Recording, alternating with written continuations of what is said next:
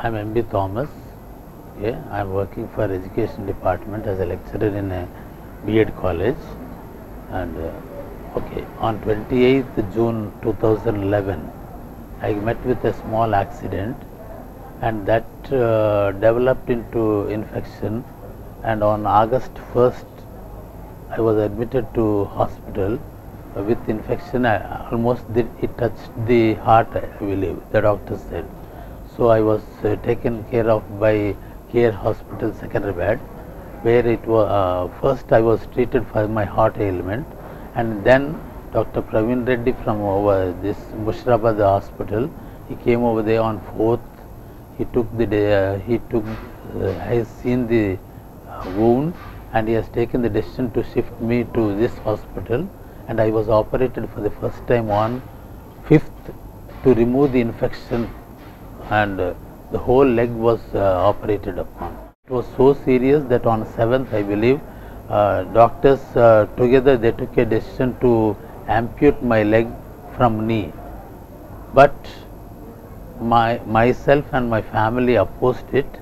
So after a lot of deliberations and thinking i wasn't much uh, informed about all these things which went out outside. But i think my family really went through the horrible emotional moment but somehow became out of that. And uh, doctors really helped me uh, from that amputation stage they have to take the reverse decision and uh, they have and uh, especially after this surgery also the treatment was not that easy because uh, the reason for this infection they could not find it.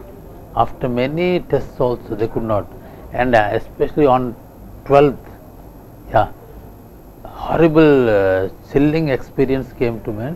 And on in that uh, horrible situation they took the blood sample and all and they found it that it was E. coli a rare bacteria virus I, I believe.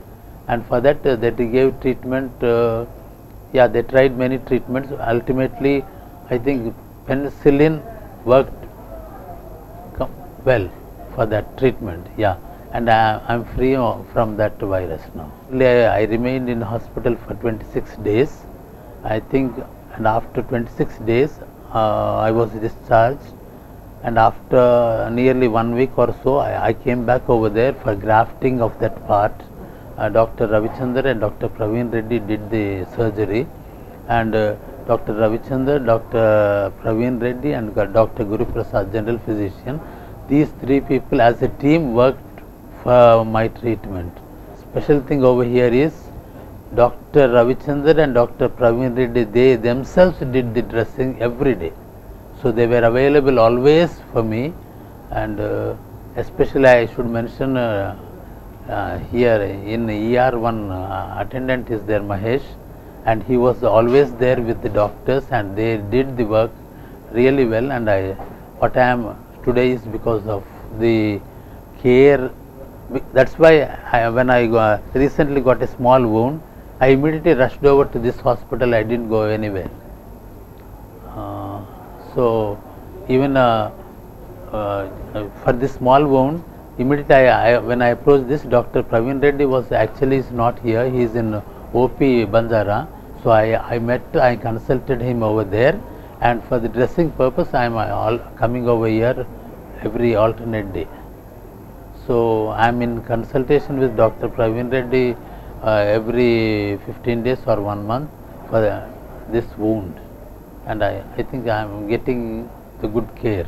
Doctors, I mentioned the names of the doctors and sisters and all the attendant staff, they were with me always and uh, they treated me like a family member and uh, really I came out because maybe of that help also. Uh, after that, uh, yeah, uh, two, three months this thing, I joined my duty and I am going through the normal life.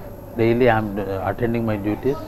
Yeah right my uh, office is from 10 to 4.30 and I am attending it like any other normal